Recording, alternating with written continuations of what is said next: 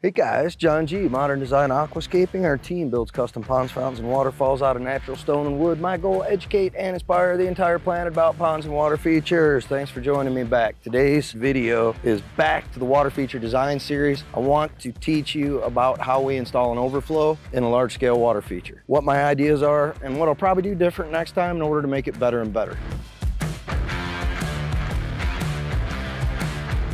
Some key factors on this overflow that I'm gonna point out right off the beginning. The uh, intake bay from the pond comes in here. Water flow sweeps nicely around and it goes this way into the back. All your suction lines for your pumps are back here in the backside. The reason that I chose to put the drain in the location that we chose is because of leaf matter. A lot of times what happens is the floating garbage in a large scale water feature covers the drain and then it does not work. Obviously creates a problem. So I thought in this water flow on this feature, if we tuck the drain off to the side outside of the actual flow of water, debris won't be so encouraged to go into it. So what's gonna happen is the majority of the debris is gonna go that way It's gonna follow the current back into the back where the major suction is. There's even a skimmer in the back back there to help pick up surface debris. As the water level goes up, it will seep into that area. So our method of installation is that basin is set two inches below water level. And the reason for that is because we're gonna come back in with flagstone and we're gonna mortar some thin flat work right around the outside of that that will put it up to exactly water level and then the water will slide and drop right in. We don't like using cobblestones or river rocks or anything like that in those areas because I don't want anything that's gonna trap leaves and stuff. We want to maintain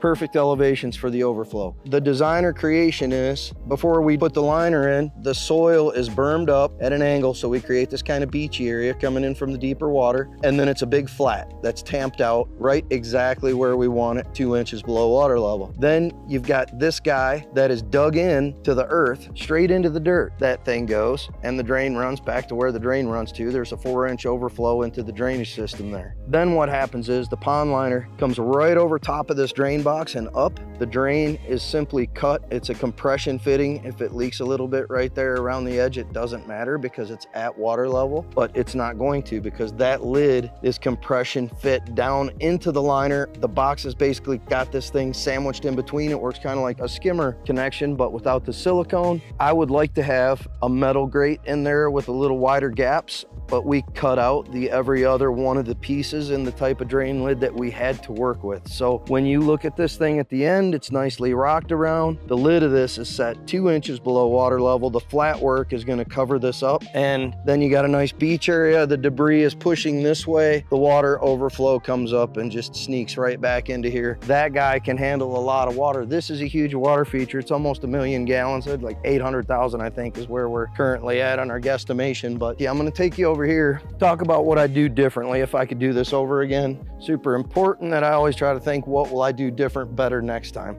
Answer, a second overflow. The surest way to not let your overflow get clogged is to have two of them. I could put one in the very back of the intake where all the debris pulls into, and I could put another over to the side of the intake. It would be very simple for me to form and pour concrete and make those basins at the proper height and then just fold the liner right over top of them and do the same type of compression seal. Guys, that's what I've got on how we install an overflow on a large scale water feature do me a favor, hit me up down there in the bottom. Let me know what you think. Like, comment, subscribe to our channel. Any info that you have, ideas, questions, whatever, type them in down there. I'll get back to you. It might take me a while. I do projects like this. I'm here every day for three weeks straight. So sometimes it takes me a month to answer my people, but I answer. I always get back. So stay with us.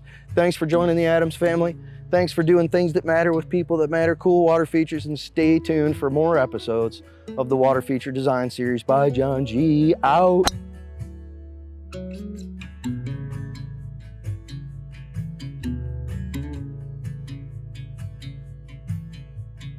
Música